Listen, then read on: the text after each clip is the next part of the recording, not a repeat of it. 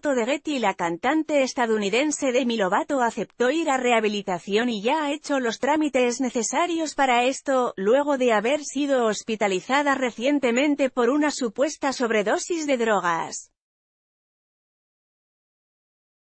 Es la familia de la intérprete la que ha planteado claramente el problema que tiene Lobato, cuya rehabilitación se ha tenido que retrasar durante días por algunas complicaciones.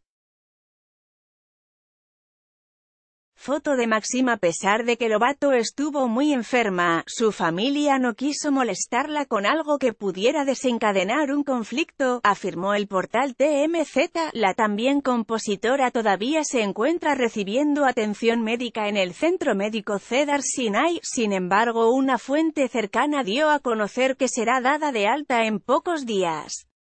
De igual manera se dio a conocer que un miembro de su equipo de trabajo indicó que renunciaría si es que Demi Lovato rechazaba ir a rehabilitación, pues no querían correr el riesgo de que la vocalista sufriera otra recaída.